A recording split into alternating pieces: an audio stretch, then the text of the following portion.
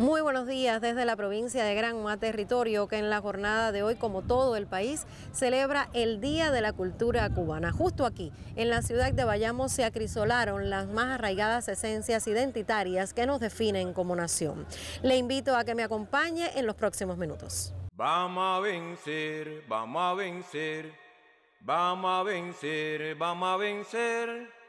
Si yo llamo Cuarilla Congo, con su maña vamos a vencer. Vamos a vencer,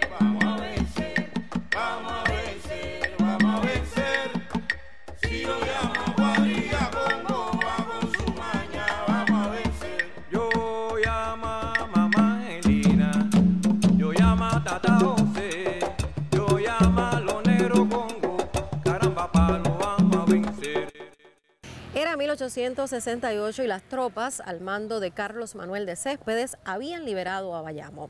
El amor por la patria, por Cuba, vivía la efervescencia rebelde de la gesta independentista.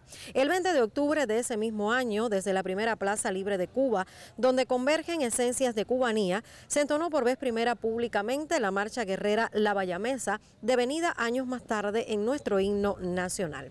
Se escribía así una de las páginas más trascendentes de la historia de Cuba. El Bayamo de 1868 era sitio efervescente. En cada rincón se respiraban las ansias libertarias de una nación decidida a terminar con años de afrenta. El ala radical de la burguesía criolla cubana se alistaba desde este lugar para iniciar la lucha independentista en la mayor de las Antillas. Entonces Perucho Figueredo, uno de los líderes de aquel despertar, pide al músico bayamés Manuel Muñoz que orquestara una melodía alejada de perfiles sacros que pudiese acompañar a un canto épico y exaltara el sentimiento patrio.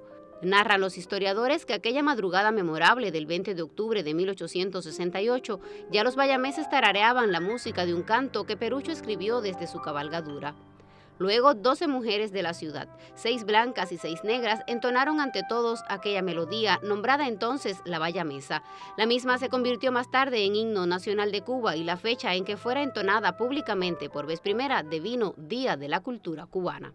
Bayameses, ¡viva la libertad!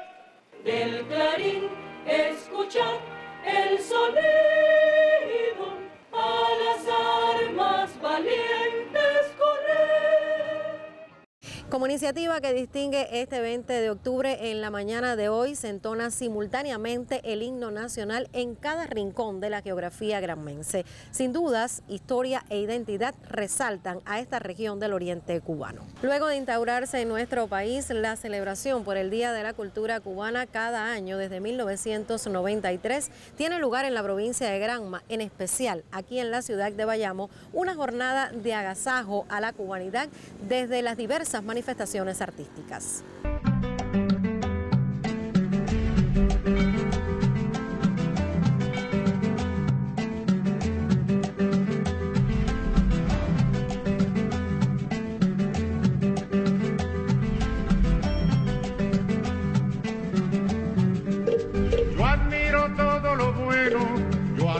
Todo lo sano, pero si hay que decidir, yo sigo siendo cubano.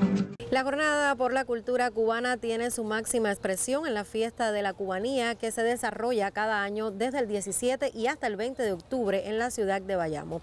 Le propongo un acercamiento de lo ocurrido en estas tres primeras jornadas a través del siguiente reporte de la periodista Jacqueline Pérez. Tres días de agasajo por la cultura cubana dejan en Bayamo el regusto que anida en el disfrute del arte. Aquí convergen intencionalidades y se visibilizan elementos diversos que hacen de la cubanidad condición distintiva. Durante la jornada anterior se destacó el trabajo de la Asociación Hermanos Saiz al cumplir un nuevo aniversario de fundada y se potenciaron espacios protagonizados por la joven vanguardia artística. Un evento que celebre la cultura es algo que no debe perderse jamás. Una ciudad, un pueblo, un país sin cultura, un pueblo sin, sin festejos, es nada, ya que la cultura es la construcción de un país. Foros de racialidad puestas en escena, lecturas de textos, así como reflexiones en torno al legado cultural caribeño fueron otras de las propuestas. En tanto, desde el Centro Provincial del Libro se ponían sobre el tamiz detalles relacionados con la impronta de Nicolás Guillén en la literatura y las artes.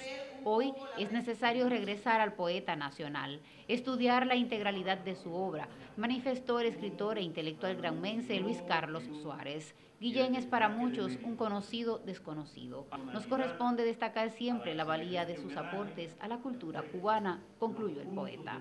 El Centro de Patrimonio Cultural, por su parte, acercó a la vida y obra de Manuel Muñoz Cedeño, orquestador del himno nacional cubano, mientras el Festival de Religiosidad evidenciaba el arraigo de los credos sincréticos en esta región del país.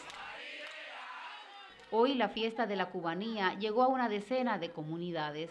Puso a disposición del público diversas opciones dedicadas a subrayar rasgos del mestizaje cultural cubano.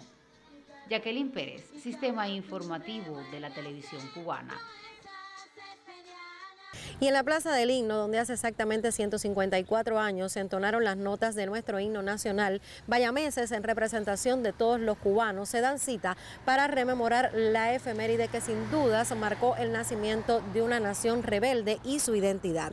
Desde el arte y la oratoria se reconoce la esencia de las raíces cubanas como expresión concreta del carácter patriótico de nuestro pueblo.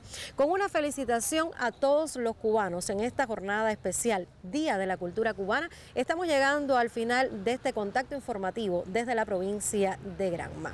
Gracias por esta oportunidad y muy buenos días.